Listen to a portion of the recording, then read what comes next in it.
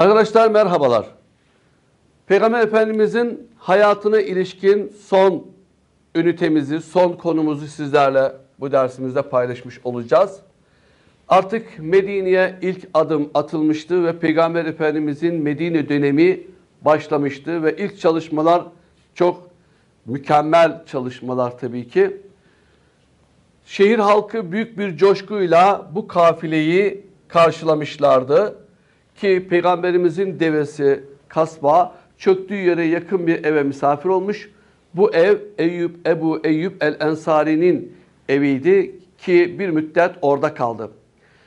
Medine'de biliyorsunuz ki Müslümanların başında lider olan Esad bin Zürare artık Peygamber Efendimiz'e de Medine'nin yönetimini teslim etmişti.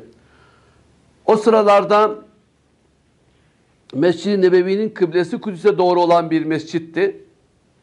Ve Mescid-i Nebevi'nin de yapımı 7 ay sürmüştü. Peygamber Efendimiz tabii ki Medinilerden Evsa Hazret kabilesinden söz almıştı. Hicretten 16-17 ay sonra da bu kıble değişmişti arkadaşlar. Peygamber Efendimizin evinin arka tarafında Suffe denilen bir birimde e, bir okul, eğitim ve öğretim için ayrılmıştı. Öğrenciler yetiştiriliyordu. Burada Evs ve Hazret kabilesi arasında yıllarca devam ede gelen o savaş ve husumeti de bitiren en önemli adım muahat olmuştur. Muahat bir yönüyle kardeşleştirme e, çalışmasıdır.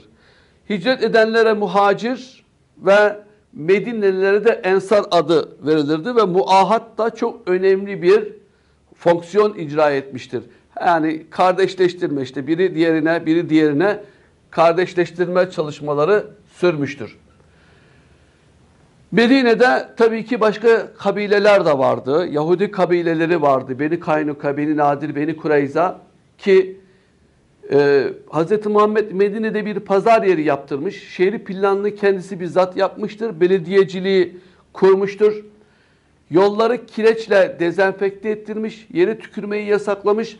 Hatta Peygamber Efendimizin yere tükürmeyi yasaklayan 70 küsur hadisini ben e, bulmuştum. Çok da ilginç yani bu konuda seferberlik yapmak lazım. Belediyelere de duyurmak lazım. Şehri baştan aşağı temizletmiş ve denetim mekanizması getirtmişti. Medine artık Yesrib değil, yani kötü yer anlamına gelen Yesrib bir yönüyle medeniyet şehri haline gelmişti. Medine'de nüfus sayımı yaptırılmıştı. Haliyle hicretin birinci yılında ezan okunmuştu. Ki Abdullah bin Zeyd bin Salebe'nin rüyasında gördüğü ezan Bilal-i Habeşi tarafından ilk kez okunmuş oldu. Özellikle 10 bin civarında olan Medine'nin nüfusunun 1500 kişisi Müslümanlardan oluşuyordu. Yani 8500 kişi Yahudilerden bir kısım, Sabi'iler olan var, Hristiyan olanlar var, putperest olanlar var. Çeşitli e, vatandaşlardan oluşmaktaydı. İşte bu özellikle Yahudilerle de olan bu anlaşmada ve diğer katılımcılarla da birlikte olan bu anlaşma Medine Sözleşmesi tarihi bir olaydır. Müslümanların lehinde olmuştur, lehinde gelişmiştir. Burada herkes kendi dininde serbest olarak yaşayabilecekleri öngörüsü vardı. Barış içerisinde yaşayacaklarına dair bir sözleşmeydi. Dışarıdan bir saldırı geldiği zaman birlikte savunabileceklerine dair sözlerdi. Ve buna benzer bir sözleşme maddeleriydi. Artık Medine'de Müslümanların bir güç olduğunu gören civar yerlerdeki kabileler, başta Kureyş kabilesi olmak üzere büyük tedirginlikler yaşıyordu. Orada güç oluşturursa yarın bir gün bizim üzerimize gelirse biz ne yaparız anlamında da çeşitli operasyonlar yapma girişimleri içerisinde olduklarını ve hazırlıklar içerisinde olduğunu görüyoruz. Hz. Muhammed hicretten 7 ay sonra Kureyşlerin tehdidinden Müslümanları korumak için askeri operasyonlar düzenlemiştir. Bu askeri operasyonlara biliyorsunuz ki seriyeler adı veriyoruz. Askeri operasyonlar. Seful Bahr, Rabi, Harrar, Ebba, Buvat, Uşeyre gibi. Abdullah bin Caş seriyeleri gibi. Buradan Kureyş müşrikleri ve Arap Yarımadası'nda yaşayan Yahudilere karşı siyasi sebeplerle düzenlenen tam 13 tane gazve, 21 tane de seriyenin düzenlendiğini görüyoruz. Toplam 34 askeri seferden bahsetmekte bahsedilmektedir. Öncelikle Mekke ticaretini ve ekonomisini besleyen ticaret kervanlarını takip etmek, taciz etmek, gerekli durumda el koymak için başlatılan savaş hali göz önüne alınarak incelenen bu askeri faaliyetler hicretin birinci senesinin Ramazan ayında efendim Hamza bin Abdülmuttalib'in seriyesiyle başlamış oldu. Evet bu seriyeler hep devam etti ki tedbir amaçlıydı ve askeri operasyonlarla düşmanı sadece ekonomik anlamda zayıflamanın hedeflenmediğine, aynı zamanda istihbarat sağlanmasına, bölgedeki kabilelerle saldırmazlık anlaşmalarının yapılarak Kureyş müşriklerine siyasi ambargo uygulanmasının da amaçlandığı vurgu yapılmıştır. Evet arkadaşlar. Devam edelim. Gördüğünüz gibi anahtar kelimelerimize geçtikten sonra 624 yılıydı. Hz. Muhammed Ebu Süfyan'ın büyük bir ticaret kervanının Suriye'den dönmekte olduğunu duydu. Müslümanların ordusunun 73'ü muhacir, diğerleri de ensardandı. Toplam 305 kişiydi. İki ordu 17 Ramazan'da Cuma günü Bedir'de yola çıktı. Hz. Muhammed Bedir'deki su kuyularını müşriklerden daha önce oraya ulaştı. Ve her iki taraftan birer kişi savaş meydanına çıktılar ki savaşın kızıştırılması için mübazere yapılırdı. Mübazerede Hz. Hamza karşısındaki Esvet bin Ebu Lesedi Mahzumi'yi öldürdü. Kureyşlerden Utbe bin Rebi'a, kardeşi Şeybe ve Velid. İşte bunlar efendim Ubeyde bin Haris, Hazreti Hamza ve Hazreti Ali meydana çıktılar. Hazreti Hamza ve Ali karşısındakileri öldürdüler. Ubeyde bin Haris savaşta aldığı yaradan dolayı Bedir dönüşünde de yolda şehit oldu. Savaş tabii ki Müslümanların zaferiyle bitti. Müşriklerden 72 kişi öldü. Bu savaşta müşriklerin liderlerinden Ebu Cehil öldürüldü. Bedir'de 70 kişi esir alındı. Müslümanlardan 14 kişi şehit verildi.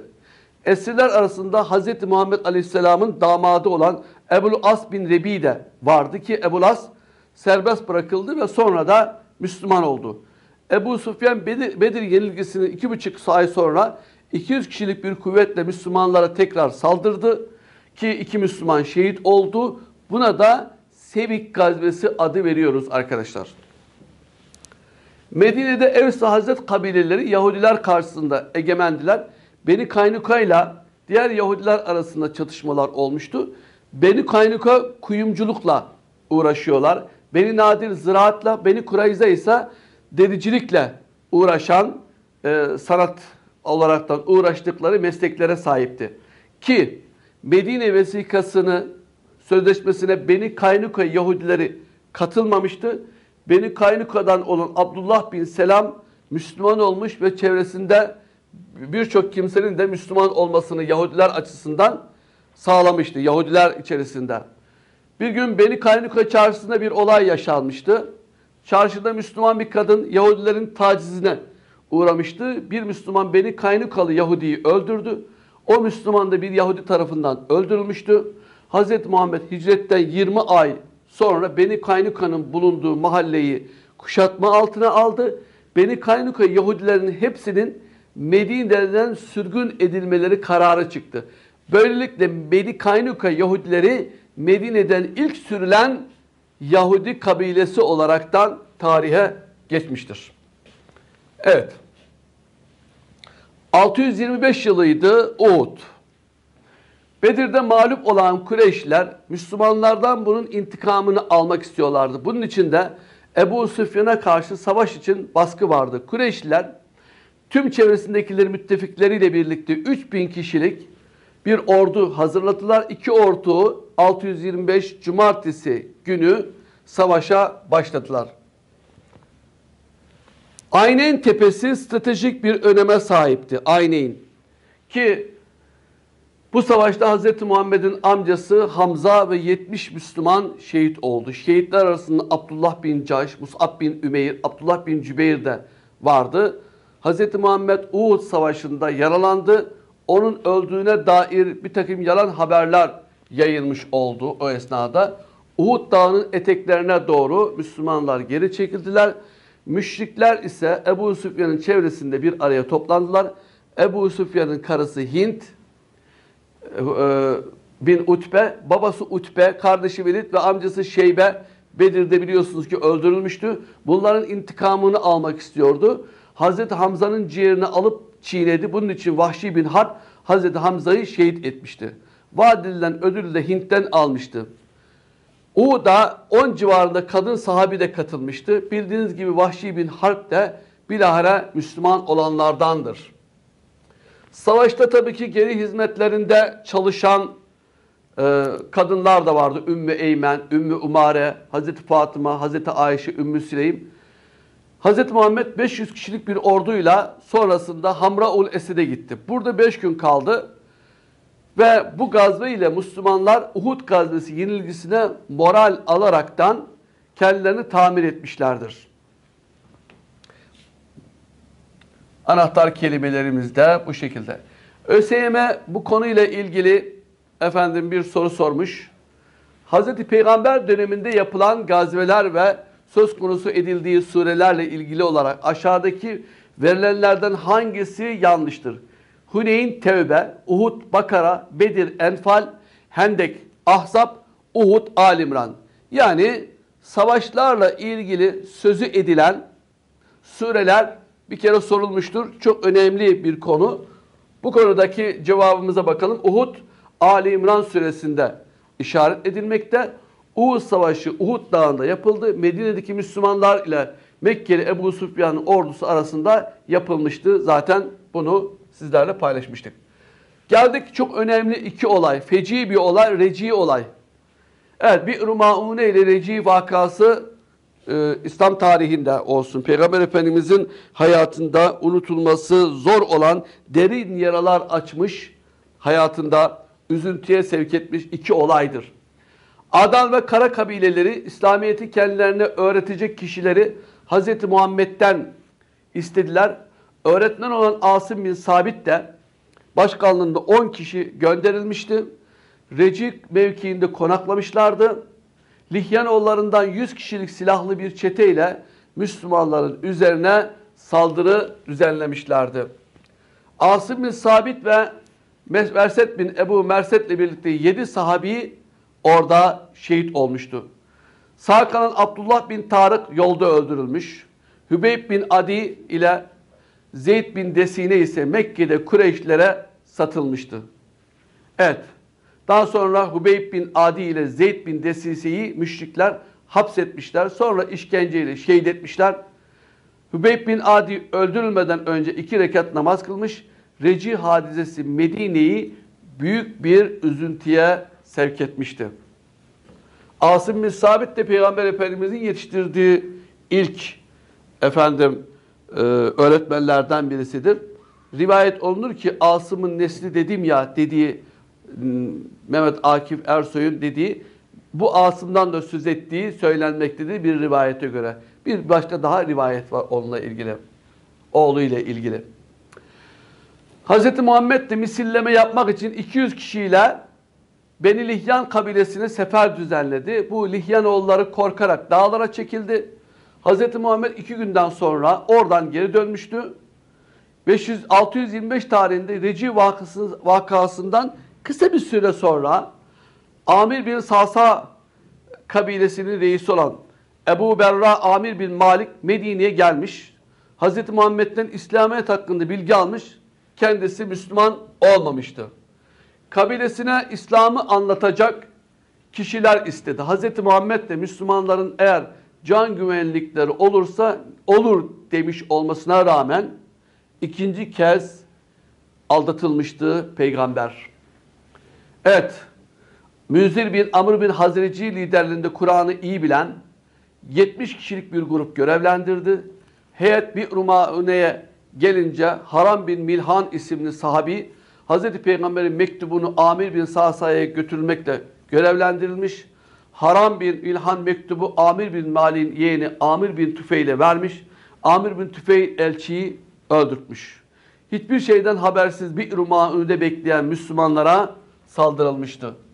Ki bu acı olay vahiy ile öğrenen efendim Hz. Muhammed büyük üzüntü duymuştu. 30-40 gün süreyle sabah namazında bunu gerçekleştirenlere karşı Hz. Muhammed beddua etmiştir. Bir rumaüne sebep olanların beni Amir bin Sasa'nın cezalandırılması için 24 kişilik bir kuvveti 629 tarihinde Peygamber Efendimiz göndermiştir. İşte iki olay, çok feci olay. Ee, iki kez Peygamber Efendimiz insanlar tarafından kandırılmıştı. Ancak vahiy ile kendisine bildirilmişti. Kendisinden olan bir şey değil. İki üzücü olayı önceden bilseydi Peygamber Efendimiz böyle söz verir miydi? Tabii ki vermezdi. Ama bazı insanlar var zamanımızda. İşte bizim şeyhimiz, bizim işte tarikatımızın e, şeyhi gelecek hakkında bilir, insanın kalbinden geçenleri bilir gibi sözler söylüyorlar. Allah Resulü olacak olan, başlarına gelecek olayı bilmezken bunlara ne oluyor da böyle kendilerine bir takım durumlar atfediyorlar? Bunu da sorgulamak lazım diye ifade etmiş olayım. ÖSYM konuyla ilgili bir soru sormuş. Arap kabileleri Hz. Muhammed'den kendilerine yeni dini anlatmaları için temsiller göndermelerini istiyordu. Adal ve Kara kabileleri de bunlardandı. Hz. Muhammed onlara aralarında Hübeyt bin Adi'nin de bulunduğu 10 sahabeden oluşan bir heyet gönderdi. Devam ediyor, devam ediyor. Ki Hz. Muhammed'i derinden yaralayan bu olay aşağıdakilerden hangisidir? Evet bunu da biraz önce işlemiştik. Bir Maune de biliyorsun 70 kadar sahabenin şehit edildiği olay. Bu olayın geçtiği yerdir tabii ki. Özellikle e, Reci olayı da Adal ve Kare biliyorsunuz ki kabileler arasındaki e, bir istemle olmuştu. Lihyan oğullarıyla alakalıydı. Siz onu zaten biliyorsunuz. Seçeneğimiz A. Evet. 624 yılında Muhammed bin Mesleme, Muhammed bin Mesleme kimdi? Peygamber Efendimizin e, kurduğu devlet yapısının içerisinde istihbarat teşkilatının başkanıdır. Dai diyoruz biz bunun adına. Ve birkaç kişiyle birlikte Ka'b bin Eşref, Yahudilerin önemli liderlerinden ve şairlerinden birisiydi. Ve özellikle büyük böyle korunaklı kalelerde kendisini korkusundan dolayı öldürülüm endişesiyle, öldürülürüm endişesiyle koruyan bir insandı. Ka'b bin Eşref öldürülmüştür. Hz. Muhammed 626 tarihinde 700 kişilik bir orduyla sefere çıkmış. Beni Müstalik Kureyş'in yanında yer alıyordu. Müşriklerden 600-700 esir alınmış. 2000 deve, 5000 koyun ve bol bir ganimet ele geçirilmiş. Müslümanların kesin zaferiyle de bunlar sonuçlanmış. Bu Beni Müstalik'te esir alınanlar arasında Haris bin Ebu Dırar'ın kızı Cüveyriye de vardı. Müslümanlığı kabul ettiği için Cüveyriye'yi Cüveyriye Hz. Muhammed azat etti. Onunla evlendi. Bu evlilik düşmanlığı da gidermiş oldu. Münafıklar Müslümanlar karşısında da boş durmadılar. Münafıklar ifk hadisesiyle Hazreti Ayşe'ye iftira etmişlerdi. Hazreti Muhammed Beni Müstalik gazvesine giderken eşi Hazreti Ayşe'yi de götürmüştü. Gazve dönüşünde Ayşe ablasından veyahut da annesinden hatıra olarak kalan zafar, akik gerdanlığını yolda düşürmüştü. Onu aramak için geri dönmüştü ve ordudan geri kalmıştı. Ordunun kontrollü Safvan bin Muattal kamp yerini kontrol etmişti. Bugün Adıyaman'da da türbesi olan Safvan bin Attal'ın efendim e, Hazreti Aile ile Ayşe ile karşılaşmış. Onu deveye bindirip orduya yetiştirmişti. Müslümanların reisi Abdullah bin Übey ve çevresindekiler dedikodu ederek şüpheli konuşmalar yapmışlar. Hazreti Ayşe aleyhindeki konuşmaları öğrenmiş ve buna çok üzülmüştü. Hazreti Ayşe'nin masum olduğunu ilan eden Nur suresindeki ayetler gönderilmiş. Bu çirkin iftiraya karışanlarından Hasan bin Sabit, Mistah bin Usase ve Ham, Hamne bin Caş Nur cezalandırılmıştır. Evet. Medine'nin etrafını hendek kazılmıştı. Selman bin Farisi'nin önerisi üzerine. Çünkü bu hendek gazvesi özellikle Kureyş'in yanında Gatafan, Fezara, Süleym, Kinane ve Sakif gibi kabilelerin yanında Beni Nadir ve Beni Kureyze Yahudileri de katılmıştı. Bu kadar büyük bir düşman birliği kurulduğu için bu gazveye Kur'an'da da adı geçiyor. Ahzab gazvesi adı verilmiştir. Ahzab suresi biliyorsunuz.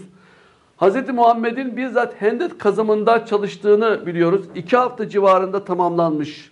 Düşünebiliyor musun? İki hafta civarında nasıl o günkü imkanlarla kazıldı anlamakta zorluk çektiğimiz bir şey. Tam çünkü 5,5 kilometre 5,5 kilometre uzunluğunda. Genişliği ise 9 metre ki 9 metreden atlamak mümkün değil yani. 9 metre dünya şampiyonu bile herhalde atlayamaz biliyorsunuz ki uzun atlamada. Derinliği ise 4 veya 5 metre civarında. Enteresan.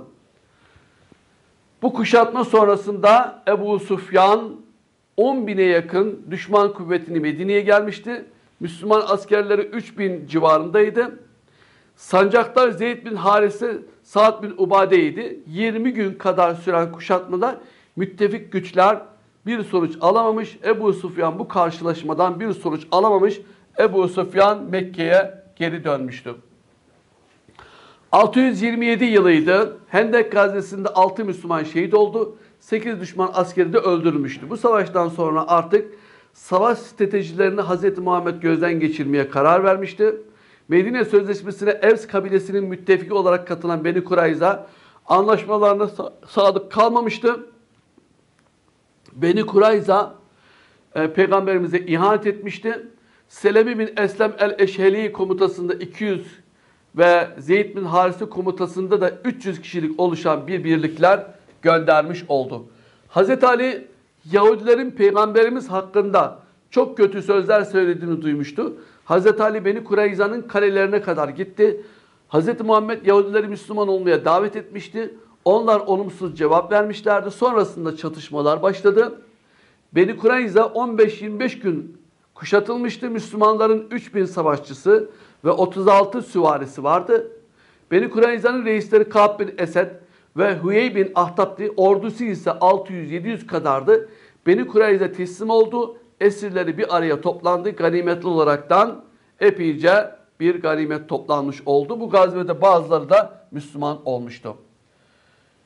Geldik Hüdeybiye Anlaşması. Hz. Muhammed 628 tarihinde 1400 veya 1500 kişiyle Medine'den Mekke'ye doğru yola koyuldu. Ve muhacirler Abdullah İbni Mektum'u biliyorsunuz ki Peygamber Efendimizin müezziniydi. Gözleri ama olan namaz kıldırması için görevlendirdi. Efendim Nümeyle bin Abdullah Elleysi'yi de şehri idare etmek üzere vekil bıraktı. Müslümanlar Umre'ye niyet etmişlerdi ve ihrama girmişlerdi. Üzerlerine de tabii ki silah almamışlardı. Barışçı amaçlar olduğu için yanlarına savaş malzemeleri almamışlardı. Hudeybiye'de konak, konak, konaklamışlardı. Kureyşler Halid bin Velid'in komutasında 200 kişilik bir süvari göndermişlerdi. Hz. Muhammed Hz. Osman'ı elçi olarak onlara göndermiş. Kureyşler Osman'a Mekke'ye Müslümanların girmesine izin verilmeyeceğini söylediler. Peygamberimize Hazreti Osman'ın öldürüldüğü yönünde yalan bir bilgi ulaştığı için buna çok üzülen Peygamber Efendimiz sonuna kadar savaşacaklarına dair sahabeden biat aldılar. Bu biata Beyatur Ridvan adı verilmektedir. Semura ağacının altında yapıldığı için Beyatur Şecara ifadesi de kullanılmıştır. Kureyşli müşrikler Hazreti Osman'ı serbest bırakmışlardı. Süheyl bin Amr başkanlığında bir heyetle Peygamberimiz bir barış yaptı. Görüşmeler Hazreti Ali tarafından kaleme alınmıştı. Kureyş'in birçok isteği kabul edilmiş. Hudeybiye Anlaşması 628 yılında Hudeybiye mevkiinde yapılmıştı. Hudeybiye Anlaşması Müslümanlar için bir dönüm noktası oldu. Bu anlaşmayla Mekke'nin fethine kadar artık geçen iki yıl içerisinde Müslümanların toparlaması açısından e, çok çok önemli bir imkan doğmuş oldu. Ki Peygamberimiz de bir yıl sonra sahabesiyle birlikte umresini kaza yapmıştı. Buna Umretül Kaza adı verilmiştir. Bu anlaşma maddeleri neydi Hudeybiye Anlaşması? Müslümanlar o yıl Mekke'ye girmeden geri dönecekler. Umre için ertesi yıl gelecek ve şehirde ancak 3 gün kalabilecekler. Mekkeli biri Medine'ye kaçarsa iade edilecek. Medine'den Mekke'ye kaçanlar olursa iade edilmeyecek. Barış 10 yıl sürecek. Taraflardan biri ittifaka dahil olmayan bir kabile, sava kabileyle savaşı girerse diğerleri pasif kalacaklar. Hudeybiye anlaşmasından dönen Hz. Muhammed 628 tarihinde katiplerine 6 adet davet mektubu hazırlattırdı. Elçileri aracılığıyla o dönemin ileri gelen devlet başkanlarına mektuplar gönderildi. İki tanesini Bizans ve Sasani imparatorlarına gönderildi. Sasani hükümdarı Kisra 2. Yusra Perhiz'e davet mektubunu Abdullah bin Huzafe götürdü. Kisra mektubu yırttı. Bizans İmparatoru Heraklius'a elçi olarak Dihye bin Halife el-Kelbi gönderildi. İmparator Heraklius Hz. Muhammed hakkında bilgi almak için Ebu Süfyan ve arkadaşlarını davet etti. Elçiyi diplomatik olarak kabul etti. Heraklius çeşitli hediyeler göndererekten efendim elçiyi geri gönderdi. Üçüncü mektup Amr bin Ümeyye Eddamri ile Habeş Neşaşisi Asame'ye gönderildi. Asame Müslümanlığı kabul etti. Dördüncü mektup Hatip bin Ebu Beltea Bizans'ın Mısır Genel Valisi Mukavkıs'a gönderdi. Mukavkus iman etmedi ama elçiyi güzelce ağırladı. Cariyelerden Mariye ile Sirin'i iki kız kardeşi birçok hediyelerle gönderdi. Hz. Muhammed Mariye'yi eş olarak kabul etti. Ondan İbrahim adında bir oğlu dünyaya geldi. Beşinci mektubu ise Şuca bin Vehb Esedi ile Gassani krallarından Haris bin Ebu Şemir'e gönderdi. Haris sinirlenerek mektubu yere attı. Altıncı mektup Selit bin Amr tarafından Yemame'de yaşayan Beni Hanife kabilesinin reisi Hevze bin Ali'ye götürüldü. Hevze elçiye iyi davrandı ama Müslümanlığı kabul etmedi. Artık Hayber'in fethi ve Mute savaşı.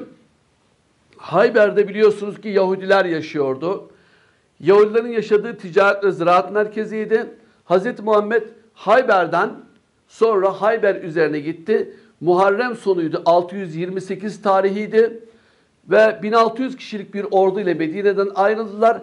Hayberliler savaş hazırlıklarına başlamışlardı. 10 bin ve 20 bin savaşçıları vardı. Güçlü kaleleriyle meşhurdur Hayber Kalesi. Hayber'de 7 tane kale ele geçirilmiş oldu ki Hayber'in fethi sırasında Yahudi reisi Sellam bin Mişkem'in hanımı Zeynep bin Haris bir koyun kesmişti ve peygamberimizi de davet etmişti. Amaçları peygamber efendimizi zehirlemekti.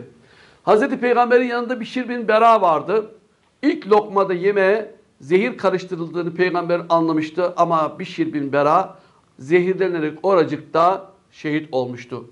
Mute Kureyş'e e, Kudüs'e yakın bir yerde Peygamberimiz 629 yılında Haris bin Ümeyr ile Ezdi ile Busra valisine elçi gönderdi. Elçi Hristiyan olan Gassani emiri Şurahbil bin Amr'ın topraklarından geçerken öldürüldü. Burada şunu antiparantez olarak söylemek lazım ki Allah Resulü bu burada Hayber'de yediği o yani zehirli etin bir kısmı tesir etmiş ve hatta yemediği de söyleniyor bir rivayete göre. Bir rivayete göre Hayber'de yediği o etin zaman zaman ağrılarının hep hissettiğini de söylemiştir bir rivayete göre. Evet, Haris bin Ümeyr öldürülen tek elçidir. Bunun üzerine Hz. Muhammed 3000 kişilik bir ordu hazırladı. Ordunun kumandanlığına Zeyd bin Harise'yi tayin etti. Ardından Zeyd öldürülürse Cafer bin Tayyar, Ebu Talib'in, o öldürülürse Abdullah bin Revaha'nın geçmesini söyledi. Eğer o da şehit düşerse aralarından birini seçmelerini emretti. İslam ordusu Muti'ye ulaşmıştı. Ee, burada Bizans orduları komutanı Theodoros, Theodoros'un genel idaresinde Şurahbil bin Amr komutasında Hristiyan Arap kabileleriyle birlikte 100 bin 200 bin kişiyle karşılaştılar. 629 yılıydı. Evet, stratejik anlamda da bir dahi olan, başarılı olan, savaş dahisi olan Halid bin Velid İslam ordusunu fazla zayiat vermeden toparladı, tekrar Medine'ye getirdi. İşte Mute'de Müslümanlar 15 şehit vermişlerdi ki Mute Savaşı peygamberin orduyu gönderirken 3 kumandan tayin etmiş olmasından dolayı Ceyşül Umara ifadesi verilmiştir. Ba'sul Umara ifadesi de adlandırılmıştır. Bu savaşta Bizans ordusuyla ilk defa karşılaşılmış oldu. Mute Müslümanların Bizans ordusuyla ilk defa karşılaştıkları bir savaştır. Mekke'nin fethi, Uni Huneyn ve Taif kuşatması ve Tebük gazvesi. Mekke'ye sefere Hz. Muhammed karar vermişti. O Medine'de idari işleri yine yönetmek için e, Ebu Ruhmü imamet için yine Abdullah İbni Mektum'u bırakmıştı. Hazreti Peygamber 630 tarihinde şehrinden ayrıldı. İslam ordusu yol boyunca 10 bin kişiye ulaştı. Dört koldan aynı anda Mekke'ye girildi. Fetihten sonra Attab bin Esidi de Mekke'ye vali olarak tayin etti. Mekke'nin fethi sonrasında Hevazin'e bir takım stratejik anlamda, kontrol anlamında da e, birlikler gönderildi. Hevazin'e seriyeler gönderildi. Hevazinliler Hz. Muhammed'in en önemli hedeflerinden biri haline gelmişti. 630 Perşembe günü Huneyn'e ulaşıldı. Halid bin Velid ile Huneyn valisine savaş başladı. Artık Halid bin Velid biliyorsunuz ki Müslüman oldu. Havazinlerin büyük bir kısmı Taif'e ve Eftas'a sığındılar. Bu savaşta 4 Müslüman şehit oldu. Düşman askerlerinden 70 kişi öldü. Müslümanlar tarafından Huneyn Savaşı da kazanılmış oldu. İslam karşıtı kabileler artık birleşmişlerdi. Bu birliklerin başında Taifler geliyordu. Halid bin Velid komutasında bin kişilik bir öncü birlikle Taif'e gelinmişti. Taif kuşatmasında Müslümanlar 12 şehit vermişti. Öldürülen düşman sayısı 3'tü.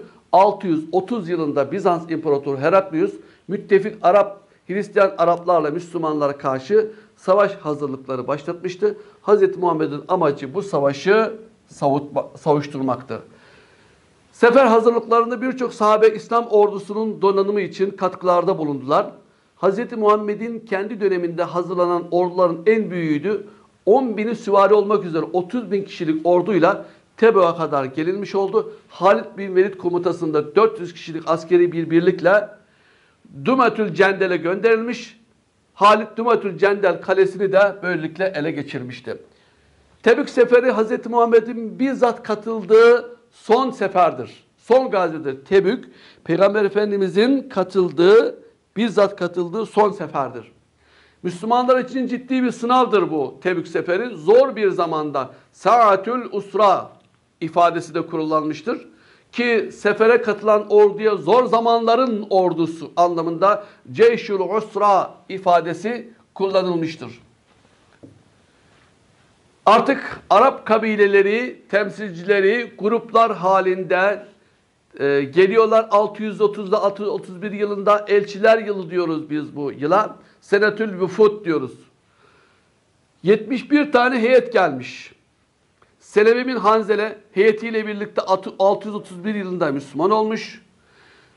9. yılındaydı. Tüleyha adında birinin bir heyet önce Müslüman göründü. Bir heyet öncesiyle Müslüman gözüktü. Peygamber Efendimizin rahatsızlığını fırsat bilen Tüleyha peygamberliğini ilan etmiş. Mekke'nin fethinden sonra da Peygamberimiz birçok anlaşmalar yapmış.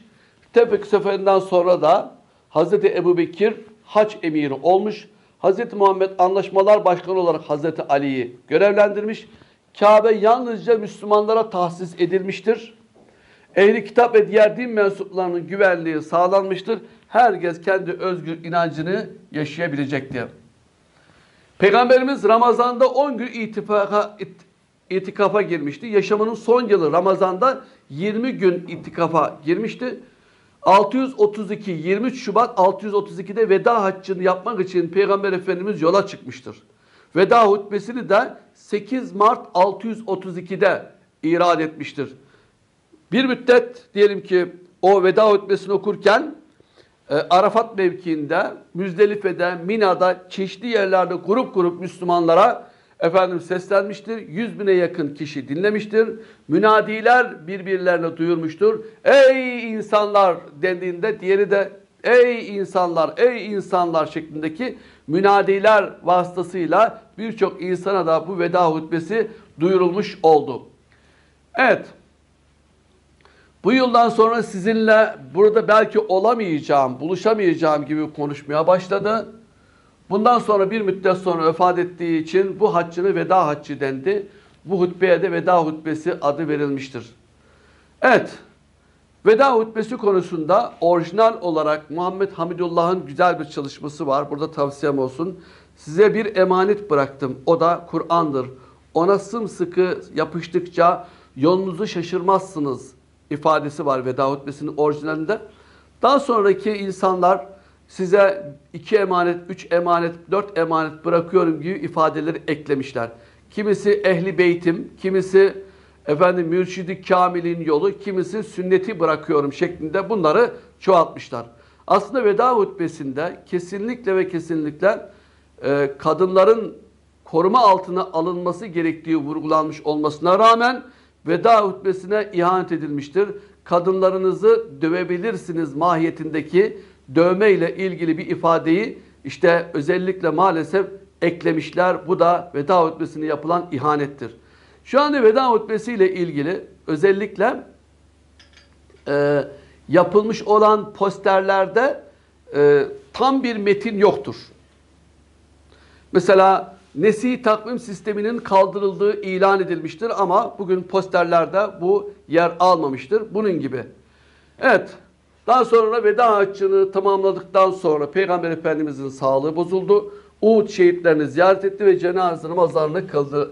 Cennetül Baki mezarına gidip Allah'tan bağışlama diledi. Yemen'de bulunan El Ansi peygamber olduğunu iddia ediyordu. Müseylemetül Kezzab vardı. O da dinden dönerek o da peygamberliğini ilan, ilan etmişti. Müseylime Hazreti Ebu Bekir'in döneminde ortadan kaldırılmıştı. Hicretin 11. yılına girildiğinde Peygamberimiz Usabe bin Zeyd'i orduyla Mute Savaşı için Bizans topraklarına gönderdi. Son günlerini de Hazreti Ayşe'nin yanında gönderdi. Bu ikinci Mute Savaşı'ydı arkadaşlar. Namazları artık Hazreti Ebubekir kıldırıyordu. 8 Haziran 632 tarihinde ruhunu Allah'a teslim etti Peygamber Efendimiz.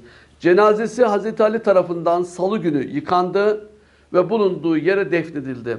Cenaze namazını da gruplar halinde girip tek başlarına kıldılar. Naaşı mezara Hazreti Ali, Fazıl, e, efendim Kusen ve Usame tarafından indirildi. Vefat ettiğinde beyaz bir katırı vardı Peygamber Efendimizin. Silahları ve bir miktar arazisi vardı. Arazilerinin geliri ailesine kaldı ve bir kısmı da devlet hazinesine devredilmiş oldu. Anahtar kelimelerimiz de bu şekilde.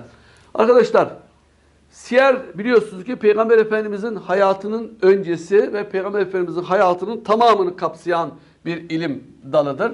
Bunlarla ilgili bilmemiz gereken e, kaynaklardır. Birinci kaynağımız Kur'an'dır. İkinci kaynağımız ise e, Peygamber Efendimizin hadisleridir. Bu konuda yazılmış ilk eser Süreti İbni İshak'ın Es-Siresi. Evet, İbni İshak'ın Es-Siresidir. Ki ilk kaynaklara şöyle bakacak olursak İbni İshak Hicri 150 tarihinde vefat etmiştir. Efendim İmam-ı Azam'la aynı dönemde yaşamıştır. Es-Sire ilk yazılmış efendim e, Siyer-i Nebi kitabıdır. Vefat ta tarihlerine bakacak olursa Vakidi özellikle 208 yaşında yok 208 yılında efendim vefat etmiş. 219 tarihinde vefat eden İbn Hişam da Süret-i Nebeviye ilk e, siyer kitaplarından kabul edilmiştir. İbn Sad'ın Kitab-ı Tabakatı da e, ayrıntılı olaraktan ilk siyer kitapları arasında yer almaktadır. Evet, ÖSYM'nin bu konuyla ilgili soruları var. O soruları da paylaşalım. Hayber, Yahudilerin yaşadığı ticaret ve ziraat merkeziydi. Hz. Muhammed Hudeybiye'den sonra Hayber üzerine gitti. 7 Haziran 628 tarihinde 1600 kişilik bir orduyla Medine'den ayrıldılar. Hayberliler savaş hazırlıklarına başladılar. 2000, 20 bin ve 10 bin savaşçıları vardı. Güçlü kaleleri vardı ve silahları da çoktu. Bir ay kadar süren kuşatmayla Hayber'deki 7 kale ele geçirildi. Hayber'in fethi sırasında Yahudi reisi Sellam bin Müşkem'in hanımı Zeynep bin Haris bir koyun kesmişti. Peygamberimizi davet etmişti. Yukarıda sözü edilen davetin niçin Peygamberimiz davet edilmiştir? Barış sağlamak için değil tabii ki. Savaşın durması için değil tabii ki. Müslüman olduklarını bildirmek için de değil tabii ki. Tabii ki Peygamberimizi zehirlemek için. Kabileler arası anlaşma yapmak gibi bir de niyetleri yoktu arkadaşlar. Konu testlerimizi şöyle toparlayacak olursak arkadaşlar özellikle Hz. Muhammed'in Mekke şehrinde Rebül Evvel ayında pazartesi günü 20 Nisan 571 tarihinde doğduğu söylenir. 632 yılı vefat yılı olarak kabul edildiğine göre 63 yıl yaşadığını hep söyleriz. Oysa yet- 571 ile 632 yıl arasında 61 yıl etmektedir. Bir rivayete göre de 17 Haziran 569 yılında doğduğu yer alır. 632 ile 569 63 yıl etmektedir. Buna göre 571 yılında doğum tarihinin başlatılması Araplarda hangi takvim sisteminin bir geri olarak sürdürülmüştür? Tabii ki Nesih takvim sistemini ben uzun uzun sizlere anlatmıştım arkadaşlar. Bu konuda yapılmış tezler de var arkadaşlar. Özellikle Muhammed Hamidullah'ın çok ayrıntılı bununla ilgili bir de tezi var ayrıntılı olaraktan. Evet ikinci sorumuza bakalım. Hz. Muhammed 6 yaşında Ümmü Eymen tarafından Mekke'ye getirildi. Yani yukarıdaki bilgilerden hangisi yanlıştır? Hz. Muhammed 10 yaşlarında Mekke'de çobanlık yapmıştır. Hz. Muhammed'in velisi Fatıma bin Abdullah olmuştur. Ee, haram ayları Zilkade, Zilhicce, Muharrem, Ramazan idi. Ficar'da Kays, Aylan ve Kureyş'te Kinane kabileler arasında savaş çıkmıştır. Burada Fatıma bin Esed'ti değil mi? Abdullah mıydı? Hayır, Fatıma bin Esed'ti. Peygamber Efendimizin D şıkkı. Değil mi? Hz. Muhammed Mekke'de kumaş ve tahıl ticaretiyle uğraşmıştır. Ebu Talib'e yardım eden Hz. Muhammed bu ticareti 35 yaşlarına kadar devam etmiş. O birçok yere ticaret için yapmış. Hz. Muhammed'in ticari seyahatleri eserde Profesör Doktor Muhammed Hamidullah o günleri ayrıntılı olarak anlatır. Ticaret için Hubaşe, Muşakkar ve Deba panayırlarına Yemen'e, Habeşistan'a gitmiştir. Bu durum Hz. Muhammed'e hangi unvanı öncelikle getirmiştir? Öncelikle. Siyasal girişimci, Muhammedül Emin, başarılı tüccar, Allah'ın elçisi, Kureyş'in gururu. Tabii ki Muhammedül Emin unvanının verilmesini sağlamıştı. Çünkü o dönemde ticarette dürüst olanları verilen, öncelikli olaraktan verilen unvan da Emin ifadesiydi. Evet, Hz. Muhammed 35 yaşındayken Kureyşliler Kabe'yi yeniden inşa etmişlerdi. Cidde ve Şuaybe, Cidde'nin Şuaybe'de karaya oturan Bizans'ın gemisi olan Habeşistan'da bir kilise yapımı için malzeme götürüyordu. Bu malzemeleri Mısır'dan Bizans imparatoruna gönderilmişti. Kureyşler Şuaybe'ye gidip geminin malzemelerini haram karışmaması için karışmaması için haramla e, haram karışmayan parayla satın almışlardır. Gemideki marangoz ve yapı ustasını Mekke'ye davet etmişlerdi. Kabe'nin tanrını yaptırmışlardı. Bu marangozu soruyoruz. Bakum Er-Rumi olduğunu biliyoruz. Hemen sona doğru geliyoruz. Üç tane kısa e, sorumuz kaldı. Arapların Haşimi ve Emevi kollarının Hz. Muhammed'in peygamberliğini kabul etmeme gerekçelerinden en önemlisi aşağıdakilerden hangisidir?